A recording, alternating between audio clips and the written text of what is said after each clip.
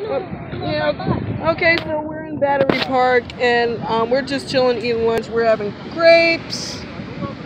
And I had this little rose and honey cupcake from the Unique Food Foodie Ri- Witchery. And I'm with my sister Hello. and, and with my niece. Yeah.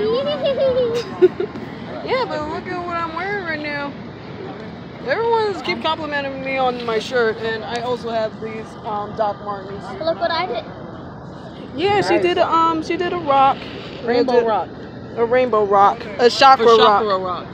Yeah. Any other rocks?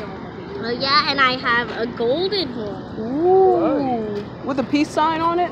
Yes. And I have another one which is roots. Yeah, the root, uh, root chakra. But yeah, we're just um like chilling around and just like putting our feet to rest Oh, right I now. have another one too.